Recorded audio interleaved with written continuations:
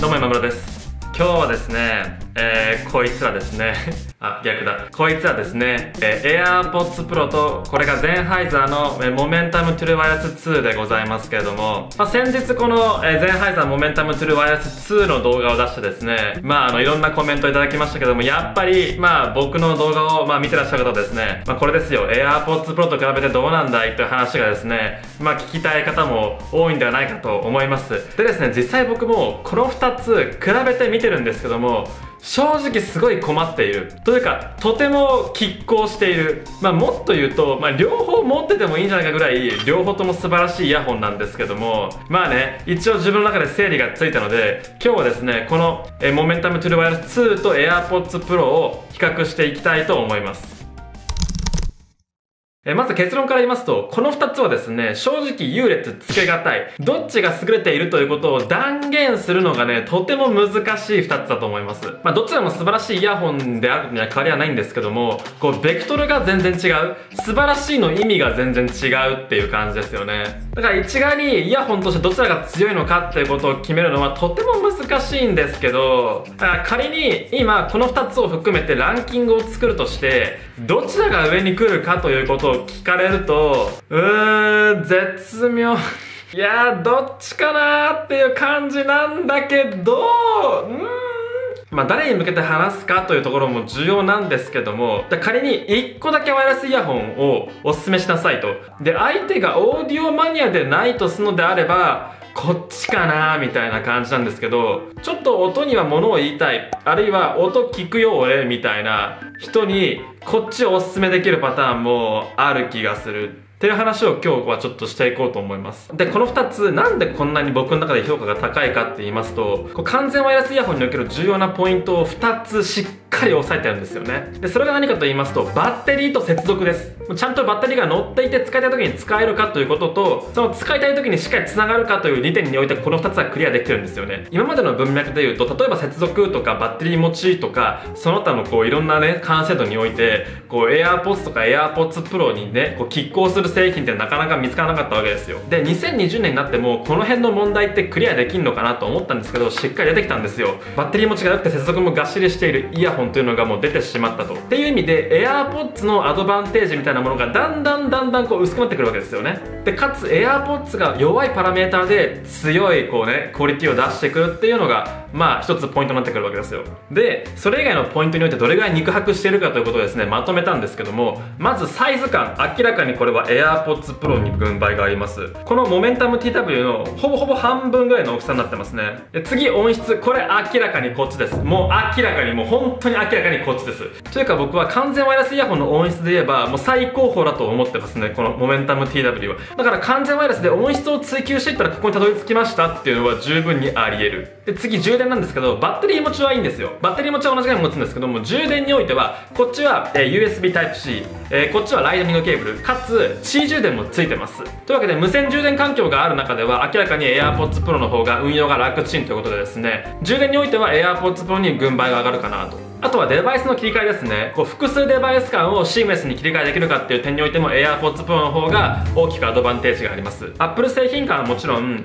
こういうえ iPhone と Android 間の接続の切り替えも明らかに AirPods Pro の方が強くて、まあ、モメンタムもできないことはないんですけども、まあ、ペアリングモードにしてあげたりとか、そのあたりのスピードという意味でもですね、結構 AirPods Pro に遅れを取っています。そして操作系ですね。操作系はモメンタムに、えー、軍配が上がります。AirPods Pro の操作系はこのうどんの先っちょのシングル、ダブルタップ、そして長押しなんですよね。それぞれ曲送り曲戻しノイキャンと外部音取り込みの切り替えという風になってるんですけどもこの操作系も非常にいいんですがこちらモメンタムトゥルーワイヤレス2でございますけども、えー、まずシンプルにジェスチャーが多いシングルダブルトリプルで長押しが左右別々に設定できます。タッチ面の感度レスポンスの速さ操作感っていうのも非常にいいので、まあ、操作感にはほぼ差はないんですけどもジェスチャーの多さという意味でモメンタムの方に軍配が上がるかなと思います。えそしてノイズキャンセリングの話をしたいんですけどもこれはですね、まあ、明らかに AirPods Pro に軍配が上がります。というかですねあのこちらもノイズはあんまり聞こえないんですよ。ただ聞こえないだけなんですよね。こっちはそもそもノイズがめちゃくちゃ聞こえないということもあるんですけども外音を聞くこともできるというのが結構大きいかなというふうに思いました。まあ、このモメンタムトゥルーワイヤレスのノイズキャンセリングは、まあ、アクティブとパッシブの融合とか言ってるのもあってですねパッシブつまりこの本体の耳栓効果に依存する部分も大きいんですね。この耳に入れて密閉したことによって外部音が遮断されるっていう割合も非常に大きくて逆に言えばソフトウェア的なノイズキャンセリングの実感というのは実はあんまり大きくない。右耳のトリプルタップがですねノイキャンのオンオフなんですけれども例えばすごく大きなノイズっていうものをこうガンガンにかけていた場合もちろんソフトウェア的なアクティブノイズキャンセルの変化っていうのは感じられるんですけども、まあ、普通の雑音環境では実はあんまり分かんないぐらいの変化なんですよね。っていうのは雑音が聞こえますって話ではなくてパッシブその耳栓効果によって消えている音が非常に大きいというところがあるんですよね。で一方でトランスペアレントヒアリング外部音取り込みモードなんですけどもこれは逆に聞こえ方が少し弱めなんですね。普段イヤホンを外して日常生活を送っているレベルで外部音が聞こえるかというとまあそんなことはなくてですねまあ音楽を流しながら外部音取り込みモードをオンにしてもですねまあ結構コミュニケーションに阻害が生まれたりとかこう周りの環境音を聞き逃したりすることはあってつまるところこのイヤホンはですねそもそものパッシブつまり耳栓効果による、えー、外音の遮断というものは大きいんですけどもソフトウェア的なアクティブノイズキャンセルのその減り幅あるいは逆にソフトウェア的な外部の取り込みモードによる外音の増え幅っていうのも小さいんですよね。だからアクティブノイズキャンセルによって感じられるノイズの変化というものも少ないし逆にトランスパレントヒアリングによって聞こえてくる外部の音の取り込みというのも少ないんですよね。でこれが何を意味するかというとイヤホンをつけたまま生活ができるかできないかなんですよね。えこっちはですねイヤホンをつけたまま音楽を軽く流しながら外部の取り込みにしてコンビニで会計をすることができるんですけどもこっちはね難しいよね。やっぱ取らないと難しい。えこっちはですねトランスペレントヒアリングにしといても外部音の聞こえ具合も小さいし聞こえ方もですねちょっとこう不自然というかマイクっぽい感じがしてですね聞き取りづらいんですよね。そういった意味で外部音の取り込み具合聞こえ方そして混ぜ具合がですねやっぱり AirPods Pro の方がね圧倒的に優れているっていうこう実感がありました。というわけでノイキャン前の体験においては AirPods Pro に軍配が上がる。で最後に比べたのがマイク性能なんですよね、まあ、最近はリモートワークとか、まあ、ビデオ会議とかも多いこともあってですね、まあ、ワイヤレスイヤホンのマイク性能というのもまあ結構重要なわけですけれども、えー、実際比べてみたら AirPods Pro の方がですね明らかにまあマイクの性能は良かったです。実際に録画した Zoom の画面をですね、えー、お見せします。こんな感じです。ああああ AirPods Pro のマイクで喋ってるとこういう感じになります。えー、これが、えー、モメンタムトゥルーワイヤレスの、えー、マイクで喋っている音です。というわけで、モメンタムのマイクですね、もちろん聞こえますし、音圧もあるんですけども、すごくこもった感じがして聞き取りづらいんですよね。一方で AirPods Pro の方がクリアで聞きやすい音が作れてるかなというふうに思いました。というわけでこの2つまとめるとバッテリー性能はほぼ5分。接続性もほぼ5分。ケースのサイズは AirPods 音質はゼンハイザー。で充電性能は AirPods デバイス切り替えも AirPods 操作性はゼンハイザーノイキャン性能が AirPods でマイク性能も AirPods ということになったんですね。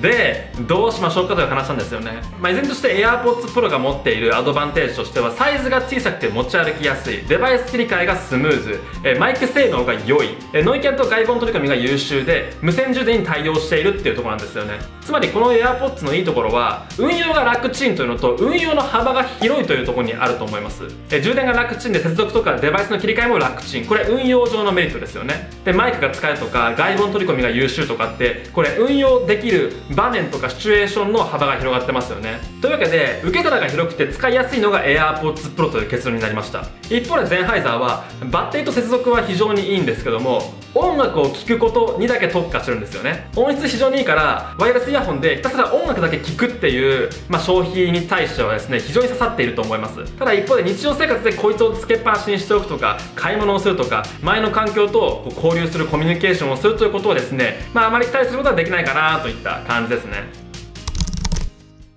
はい、というわけで AirPods Pro と、えー、ゼンハイサーのモメンタムトゥルワイヤレス2のお話でございました。まあね、あの、僕去年、こう、イヤホンの動画いっぱい作って、イヤホンのまとめをするときに、音楽の楽しみ方ってすごい多様で面白いっすねって話をしたんですけども、ここに至っては、イヤホンが提供するこう体験とか、それがこう生きてくるシチュエーションみたいなものもですね、どんどんどんどん多様になってきてですね、まあ、あの、ワイヤレスイヤホンってやっぱ面白いなと思うばかりでございます。えというわけで AirPods Pro と、えー、モメンタムトゥルーワイヤレス2の、えー、企画でございました、えー、この動画が面白かったらぜひ高評価とチャンネル登録もよろしくお願いいたします。ではまたお会いしましょう。バイバイ